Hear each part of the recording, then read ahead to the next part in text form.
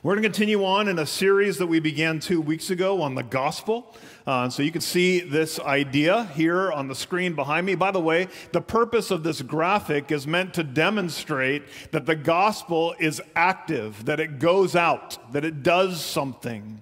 And so we've been talking about the way in which the gospel is on the move in the book of Acts. And if you have your Bible, you can open them this morning to Acts chapter 3. Because in Acts chapter 3, we're going to be looking at our text this morning. We've talked about the gospel and we have defined the gospel. It's not here on the screen for you because this morning it's a test to see how well you've been paying attention the last two weeks. What is the gospel, Redwood Chapel?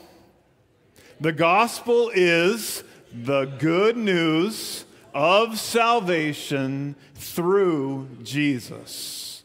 That's pretty good. No prompts. Good job.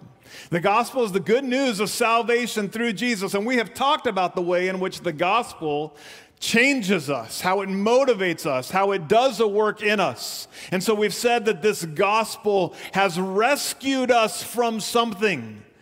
But more than that, in addition to rescuing us from something, it is also doing an active work in us today. It is changing us. And so, the next three weeks, we're going to be looking in the book of Acts at three different ways in which the gospel is at work.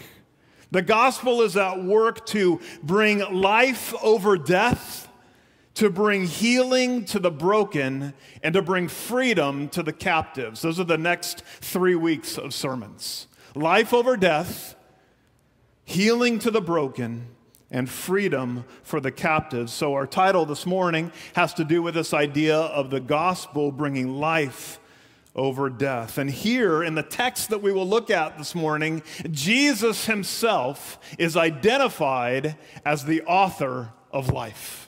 That's an amazing title that we will spend some time looking at in just a moment. But think about that idea. What is an author but a founder or a creator or an originator? He is the source of life. And so, all that we do and all that we gather around is around extolling the name of Jesus, the one who gives life to us all. If, if we ever gather and we extol each other, we have missed the point. The whole purpose of gathering together as the people of God is to extol the name of Jesus, to lift high the name of Jesus, to worship the name of Jesus, because all of life comes from Him.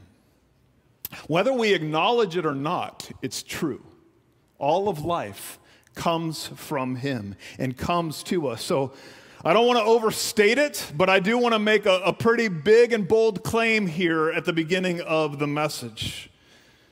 I believe that the passage today will help us to identify the source of life, the strength for life, and the strategy for life. Those are three big claims. The source of life will be identified. The strength for life, what we need for life, will be identified. And the strategy needed to live it out will also be identified in this text. So, if you come this morning and you have found life to be dull, or boring, or confusing, or lonely, or dissatisfying, or miserable, or empty, I pray that you will give me 30 minutes because this passage may change your mind. It may awaken in you a joy for what life is all about. And if you come here this morning already giving thanks to God and praising Him for the life that He offers, then allow the next 30 minutes just to be a time of allowing your soul to be ministered to as you continue to praise Him. But regardless of where you are, Either one who, who wrestles with what life looks like or one who is sure of where their life is in Christ, regardless of where you are, I pray that over the next half hour together that we will see Jesus as our ultimate source, our ultimate strength, and providing the ultimate strategy for how we need to live. The reality is, friends, the reality is, is that Jesus can do more for you than anything else in life. He just can. Now, you can be into yoga, you can be into like a strict diet. You might embrace a keto lifestyle. You may be into your essential oils or juice cleanses. You may have figured out your Enneagram number. You may be interested in winning the lottery. And all of those things could be done, but they will not do for you what Jesus can do. None of those, as good as they are, cannot do for you what Jesus can do. And so, if you are interested this morning in seeing how Jesus can be your source, Jesus can be your strength, and can provide the strategy for life, then I want to declare to you this morning that it starts by recognizing this that the name of Jesus will outshine everything else because Jesus brings life to death.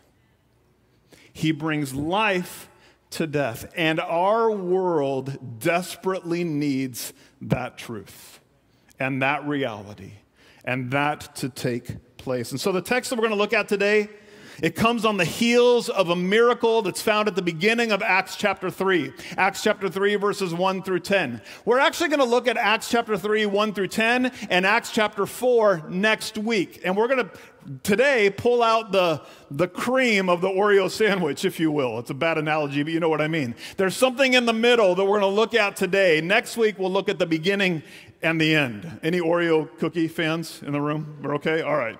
You know what I mean. We're going to try to understand something that's in the middle that we need to help us uh, uh, gain this understanding. And so, the beginning of the book of Acts, or excuse me, chapter 3 of Acts, tells the story of two of the apostles. Those are the called followers of Jesus Christ. Remember, there was 12 original ones. At this point, there are 12, although Judas is no longer an apostle, and now Matthias has been brought into the fold. And two of these apostles, by the name of Peter and John, two of the we'll say more of the, the foremost of the apostles um, they are on their way to the temple to pray. It's three o'clock in the afternoon you can transport yourself to that moment if you want. If you can picture that in your mind, you're, you're in the temple in Jerusalem. It's a place of worship. It's the time of the day when many people would be coming to the temple for their worship and for their afternoon prayers. Peter and John, still living in Jerusalem after Jesus' ascension into heaven, are just doing what they have been taught to do. And they're heading to the temple to pray. There, as they come across this gate to go into the temple, chapter 3 identifies this gate as a gate that's called beautiful. The beautiful gate. Uh, beautiful for many reasons, I'm sure. One, because the temple itself was just an incredible structure. Uh, but beautiful also because it was likely on the eastern side of the temple, whereby the prophet Ezekiel and other prophecies identify that Messiah will come in and come out. Probably the same gate that Jesus entered after the triumphal entry when he comes to Jerusalem for the final time. This beautiful gate. The gate that leads into the temple, that leads into the courts. There, sitting by the gate, is this man who has, the text says, has been paralyzed since birth. And he's asking for alms or he's asking for handouts. And he's strategically positioned because what do pious people do when they go to worship but look for people who are in need and help to pay through alms uh, some sort of offering?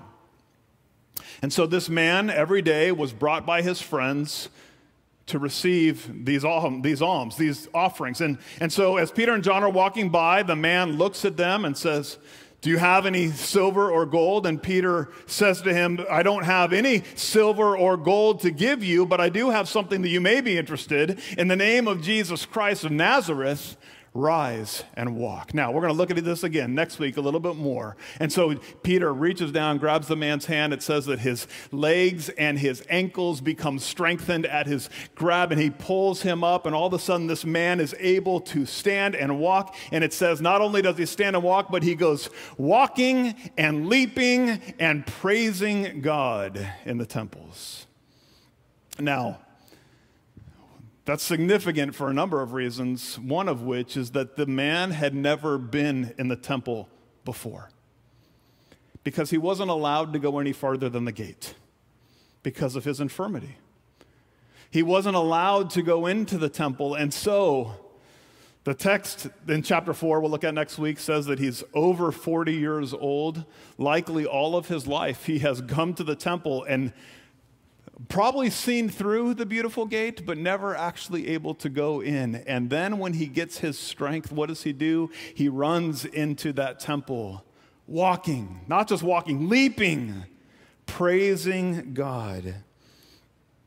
And as he's doing so, the people that are there in the temple, now, as he goes in through the beautiful gate into the area around what's known as Solomon's portico, it's probably mostly men who are gathered there.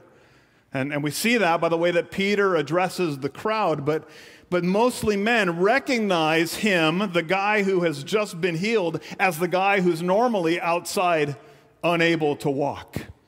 And they see him and they're confused. In fact, the text says they are filled, verse 10, with wonder and amazement at what happened to him. Now, those two terms, wonder and amazement, have some level of strength in the English, but let me tell you, in the original language, they are packed full of meaning. To be in wonder means to be dumbstruck, to be immovable, almost like I'm frozen in this place. As I look at what just happened, I don't have the capacity to move. I'm, I, I, you ever been there? Like, I just, I got nothing to offer. I have nothing that I can say. I'm dumbstruck by what I have just seen. This idea of amazement means to be almost transported with this, this attention that all of a sudden I can't see anything else around me but just this one thing. They're in wonder and amazement. This idea of being in amazement, it only shows up three other times in the Gospels. One of the times that it shows up, it's, it's at the place where this guy by the name of Jairus, whose daughter is sick, goes to find Jesus. And Jesus comes to her after she has already died. And he takes Jairus and he takes a couple of the disciples, including Peter and John, into her room. And he says, Little girl, it's time to get up. And they're looking at him like, Are you crazy? She's dead. And the little girl wakes up and regains her strength. And it says in that text that they looked at him with amazement, dumbstruck. I can't see anything except what I have just seen. The next time that we see this used in the Gospels, it's used of another healing of another paralytic person. You remember in Capernaum when the man who was paralyzed is brought by his friends to a house where Jesus is teaching. And the crowd is so big that they can't get into him, and so they open up a hole in the roof and they lower the man down before Jesus. And there, Jesus says to him, Son, your sins are forgiven. And the religious leaders are looking around going, What in the world? Who is it that's allowed to say that? That's blasphemy. In fact, they don't even say it, they just think it. And Jesus, perceiving their thoughts, says, Hold on a second. Which is more difficult, to say, Your sins are forgiven, or to say to this man, Get up and walk? But to show you that I have the ability to forgive his sins, I say to you, rise and walk. And this man, like the story in Acts chapter 3, he gets up, walking and leaping and praising God. And the people are in rapt amazement. They can't see anything except what they have just seen. The third time it's used in the Gospels, it's used of the women who come to the tomb on the morning of Jesus' resurrection. And there they come to the tomb and they're looking for him and they're confused by the fact that he's not there. And an angel comes to them and tells them that he is not here, that he is risen. And it says that the women leave there in total amazement at what they have seen. This idea of amazement means that I can't see anything except for what I have just seen. And when you can't see anything except for what you have just seen, you are curious about how did it come to be, whatever I just saw. What happened just now? Because I know with my own eyes that that man was not walking five minutes ago. I know that. In fact, I've come to this temple to worship every day. I've been a good Jewish man. I've come and I've done my religious duty and I've walked by that man. In fact, I've given him alms for years. How is it that he now is walking? And this is the question that the people there are asking. And so in Acts chapter 3, verse 11, it says, While he, that is the healed man, clung to Peter and John, all the people around were utterly astounded. And they ran together to them in the portico called Solomon's. And when Peter saw it, he addressed the people. Men of Israel, why do you wonder at this? Why do you stare at us as though by our own power or piety we have made him walk? Guys, what are you doing? Why are you looking at me? Peter says. Why are you curious as to what just happened here? As if it was something that I did. The crowd is witnessing this. They're witnessing this miracle that has taken place, but they don't know what to do with what they've seen. And so they begin to say, oh, maybe it's Peter, maybe it's John. Their inclination is to attribute the power to the apostles. And Peter's like, Are you crazy? Like, don't put that on me. I, I didn't do this. We didn't do this. Why are you marveling at us? We don't have any power in ourselves. And I want you to note something in your notes or in your Bible. People who are full of the Holy Spirit, they want the attention on Jesus as soon as possible. The, the, the, the, the, the, uh, the um, men who are here, Peter and John, they do not want the audience to be clamoring for them. They want to direct the attention to Jesus as soon as possible. Don't put this on us. This was not our doing. In fact, Peter's going to stand up and tell them exactly who Jesus is. You'll remember last week, the last time that Peter opened his mouth to a crowd following Pentecost, about 3,000 people became followers of Jesus. Here at the end of this message, it says in Acts chapter 4, verse 4, that another 2,000 souls will be added to their number over the course of these two messages from Peter. The audience is so curious about what is happening in their city that they're coming to Jesus in droves. They're coming to him. They want to know. Again, our familiarity with Jesus, our familiarity with church, our familiarity with religion, for those of us that have been around it for a long time, leaves us oftentimes missing the wonder of who Jesus is and what Jesus is really all about.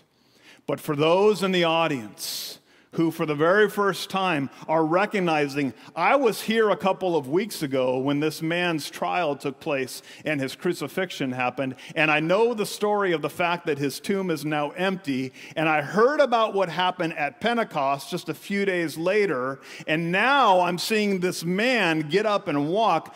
There's something about this Jesus. And they have complete focus and complete attention on who Jesus is. If you can, church, see him for the first time this morning. See him as the one who has the power to change death into life. So here's Peter's message. He's going to point us to the identity, the power, and the presence of Jesus. Peter's message that we're going to look at here in this text is going to point us to the identity and the power and the presence of Jesus. Let's start with the identity. The way that Peter identifies Jesus is that Jesus is the source of life. Jesus is the source of life. Look at verses 13 through 15 with me. It's here on the tech on the screen. The God of Abraham, the God of Isaac, the God of Jacob, the God of our fathers, glorified his servant Jesus, whom you delivered over and denied in the presence of Pilate when he had decided to release him. Now, just stop there for a second. Peter wants to identify who Jesus is, but he's also going to remind the religious people of their contribution to this current situation. The God of Abraham, the God of Isaac, the God of Jacob, the God of our fathers glorified his servant Jesus. He's going to get to Jesus really quickly. Glorified his servant Jesus.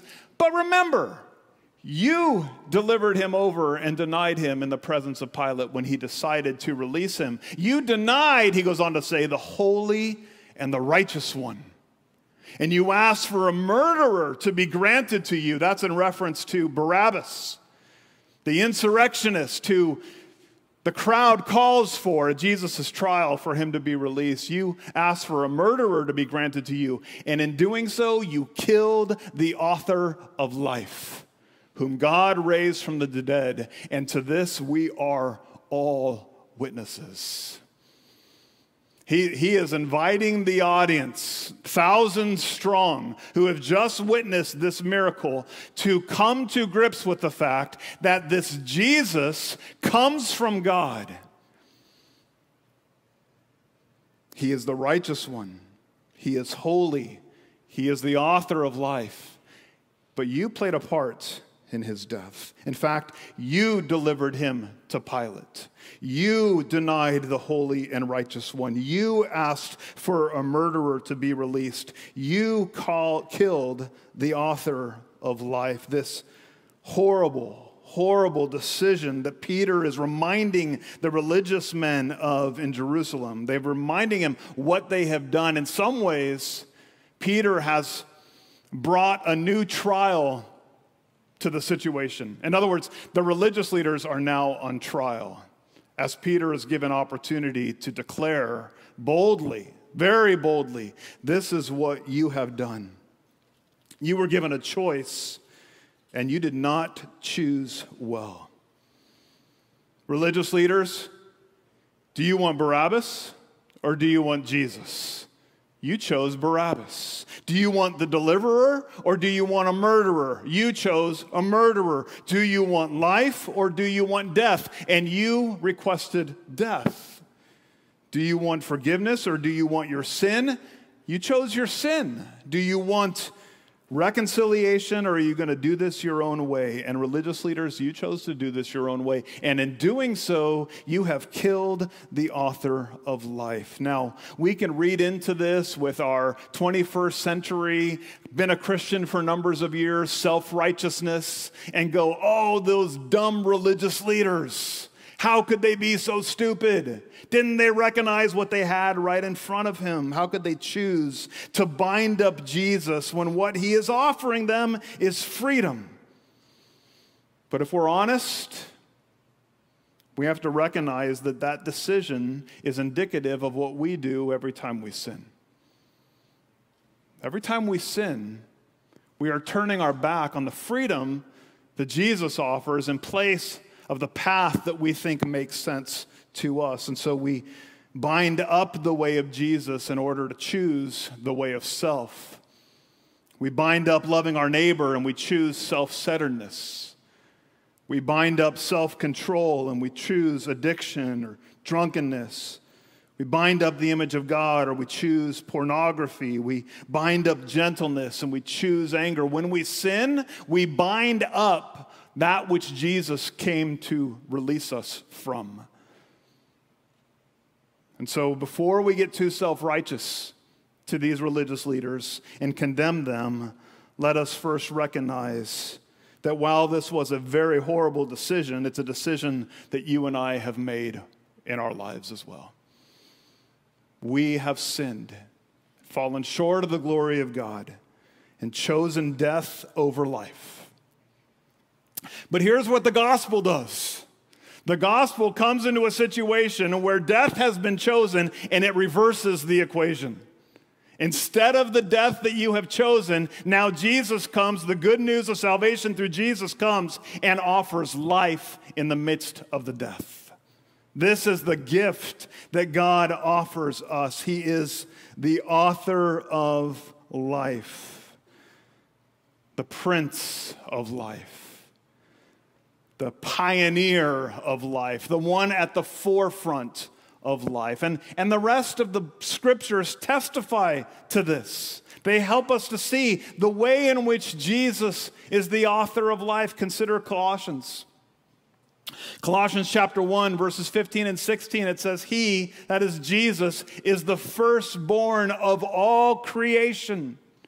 All things were created through him and for him. He's the author of life.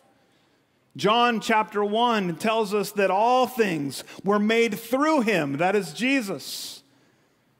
In fact, in him was life, and that life was the light of men. Hebrews tells us in Hebrews chapter 1, verses 2 and 3 that in these last days, He, that is God, has spoken to us by His Son, that is Jesus, who He appointed to be the heir of all things. It goes on to say, through Him, He also created the world. He's the radiance of the glory of God, and He upholds the universe by the word of his power. And after making, it goes on to say in this passage, after making purification for sins, what does Jesus do? He sits down at the right hand of majesty on high. Peter wants the audience to see, I believe that the Holy Spirit wants us to see, that oftentimes we choose death over life, but through Jesus, the source and the author of life, the gospel allows you to live with life over death. Amen? That is a good truth. That is a life giving truth. That should free you when you are battling with your own temptations and your own struggles to recognize that Jesus came to free you from those things, and it's the world's desire to keep you bound in those things. Do not mistake what Jesus has done for you. He's the author of life. So, our identity here is that Jesus is the source of life. We want to see Jesus as the source of life, but then the power that we want to understand is that Jesus gives us the strength for life. Not only is he the source of life, but he gives us the strength for life. Look at verse 16, 17, and 18. It says this In his name, by faith in his name, has made this man strong who you see and know.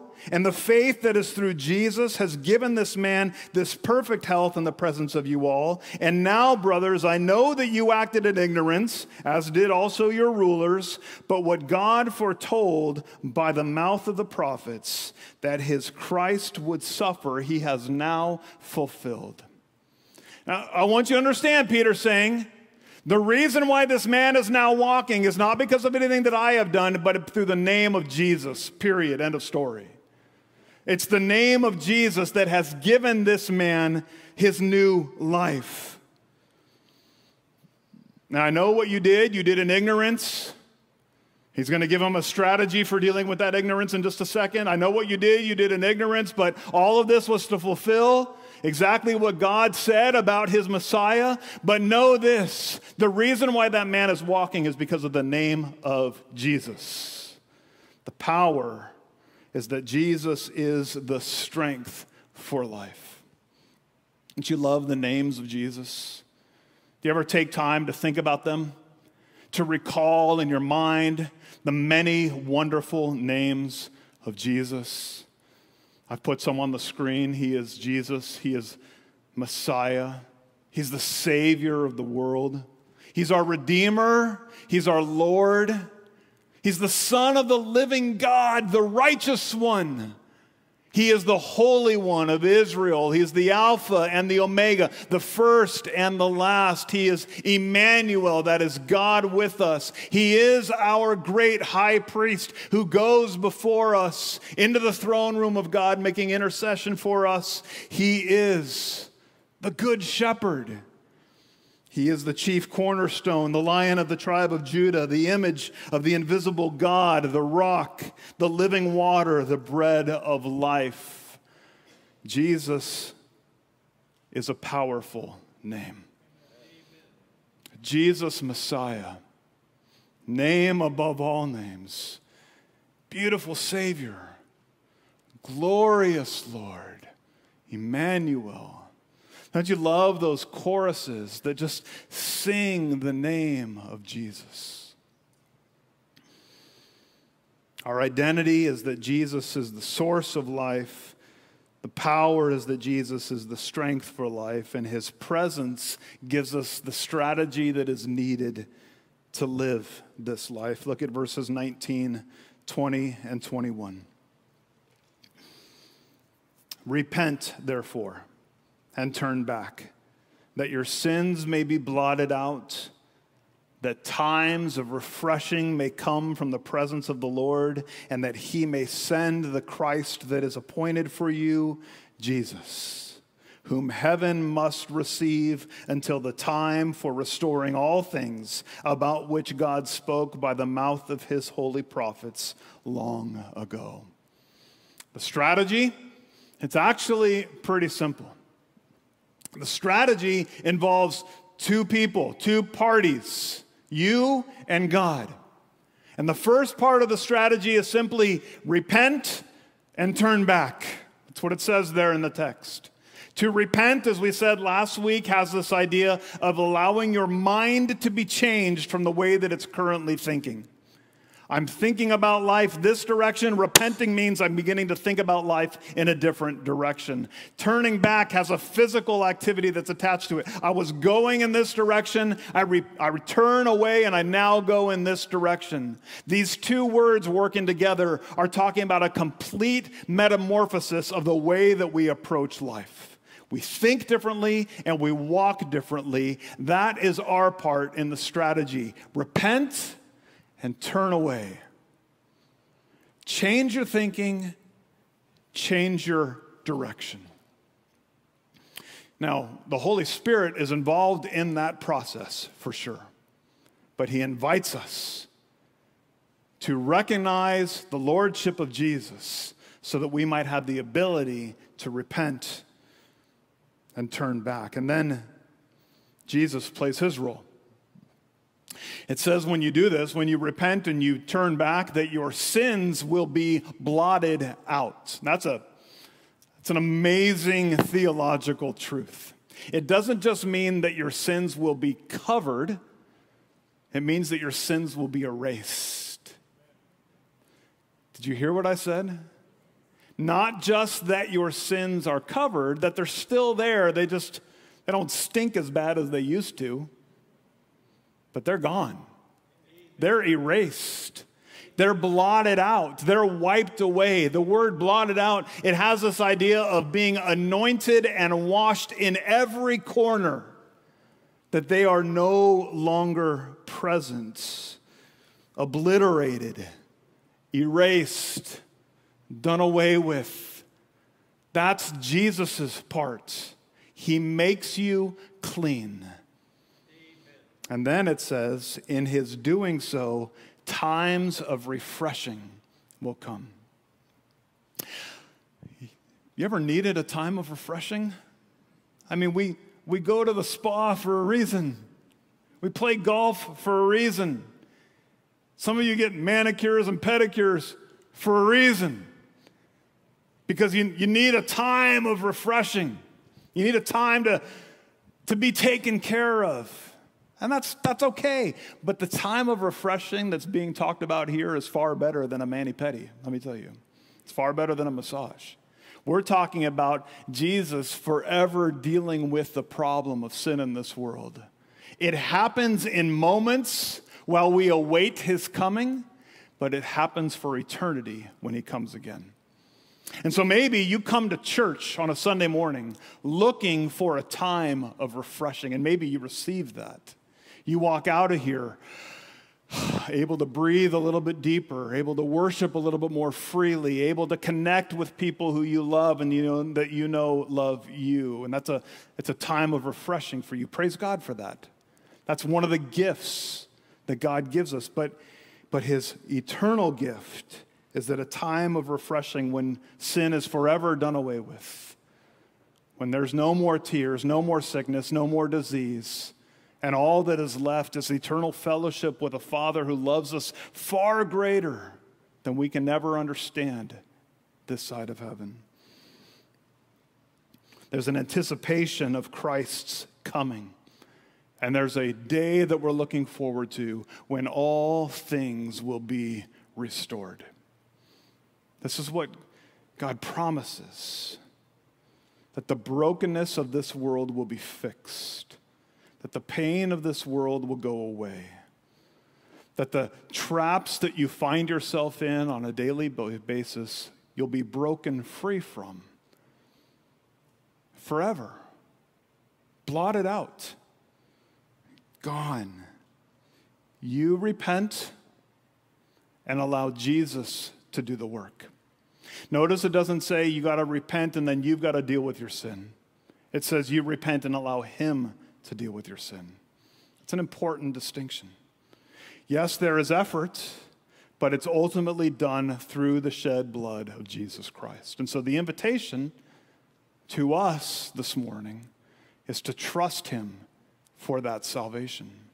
To trust that He is the author of life, to trust that He has the ability to take us from a state of being dead, separated by our sin, and to move us to make a transaction through the work of his son Jesus that moves us from a state of death to a state of life. This is what the gospel does. This is the good news of salvation through Jesus. No longer a slave to fear, I am a child of God. Heavenly Father, as we come to this table, a table of the Lord's Supper, a table of a meal, where we consume these elements of bread and wine. We do so because your Son commanded us to, to do this as often as we meet in remembrance of what Jesus has done. And Paul says, not only are we remembering what Jesus has done, but we're also proclaiming the Lord's death until he comes back. And so, in response to what we have just seen from your word, Father, would you receive from us our time of remembrance and our time of proclamation that you have invited us to? Will you allow us to commune with one another, to fellowship with one another around this meal? What a gift that you have offered us. And we praise you. There's been a few things that have been mentioned this morning that I would invite you to as next steps. Firstly, if you have thought through and considered these claims of Jesus and what it looks like to consider him as the source of your life, as the strength of your life, that you need a strategy for your life, I want to invite you to come find one of the pastors or leaders here at our church. We can pray with you right now, encourage you in your walk with Jesus, even as it just begins, even if it's beginning this morning. What a great gift that is. Secondly, we have a new members orientation, as Mike said, that's coming up in a couple of weeks. Please register for that using the Church Center app so that we can know of your interest for that. And men, our men's fraternity beginning on October the 9th. I would invite you to come and be a part of that. A great opportunity to meet other men. All of that can be done through the Church Center app or with an, inf- with, uh, an email to our church office, and we'll take care of you and get you situated. The reason there's a $15 cost is because there's materials that are provided um, with that cost. And so that just recoups the cost that we need. I'm going to leave you with a benediction this morning uh, from the words of Paul from Romans chapter 8. Paul says, For I am convinced, but I want to say together that we are convinced that neither death nor life, nor angels nor principalities, nor things that are present, nor things to come, nor power, nor height, nor depth, nor anything else in all of creation will ever be able to separate us from the love of God, which is in Christ Jesus our Lord. God bless you. Have a great day.